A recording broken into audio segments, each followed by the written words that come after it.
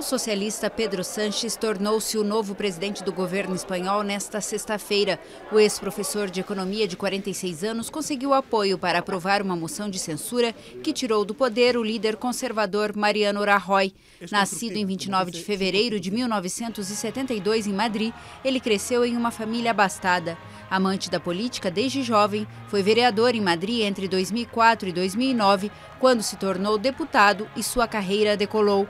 Em 2014, se tornou o primeiro líder do PSOE a ser eleito pelos militantes, mas seu partido enfraquecido ficou atrás de Rajoy nas eleições de dezembro de 2015.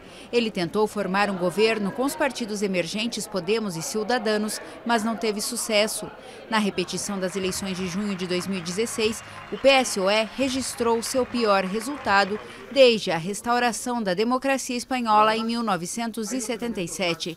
Sanches foi responsabilizado pelo fraco desempenho, mas voltou pela porta da frente em maio de 2017, quando os militantes o recolocaram à frente do partido. Seu novo papel não será fácil, ele não tem maioria e, para a censura, teve que concordar com a esquerda radical do Podemos, os separatistas catalães e os nacionalistas bascos.